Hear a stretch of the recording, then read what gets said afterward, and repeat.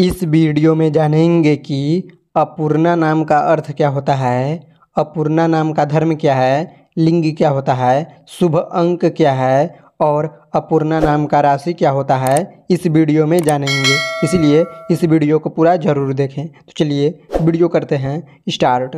अपूर्णा अपूर्णा नाम का अर्थ होता है, अधूरा या जो पूरा न हो आपने सही सुना दोस्तों, अपूर्णा नाम का अर्थ होता है अधूरा या जो पूरा न हो। लिंग लिंग का बात किया जाए तो अपूर्णा नाम लड़की का नाम होता है और धर्म धर्म का बात किया जाए तो अपूर्णा नाम हिंदू धर्म के लोग ज़्यादातर अपूर्णा नाम धरते हैं और अपूर्णा नाम का शुभ अंक चार और नौ होता है और अपूर्णा नाम का राशि, अपूर्णा नाम का राशि मेष होता है और अपूर्णा नाम का लंबाई थ्री पॉइंट फाइव होता है। हमें उम्मीद है कि आप अपूर्णा नाम का अर्थ और अपूर्णा नाम के रिलेटेड कुछ इंपॉर्टेंट बात आप अच्छी तरह से समझ लिए होंगे।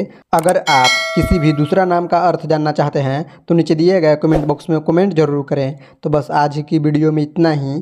Thanks for watching